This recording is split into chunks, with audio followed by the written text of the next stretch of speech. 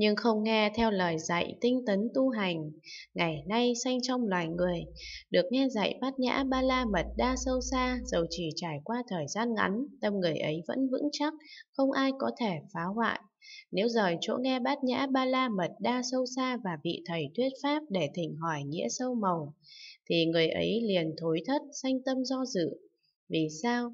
Vì tuy đời trước thiện nam tử vân vân trụ Bồ Tát Thừa được nghe bát nhã ba la mật đa cũng thỉnh hỏi nghĩa lý sâu xa, nhưng không tu hành tinh tấn theo lời dạy, nên đời này đối với bát nhã ba la mật đa sâu xa, có khi muốn nghe, có khi chẳng muốn nghe, có khi tâm bền vững, có khi tâm lui sụt, tâm ấy dao động, tấn thối không thường, như bông gòn chuyển động theo gió nên biết các thiện nam tử, vân vân, trụ Bồ Tát Thừa, mới học Đại Thừa, mặc dù có tín tâm, nhưng không thanh tịnh kiên cố.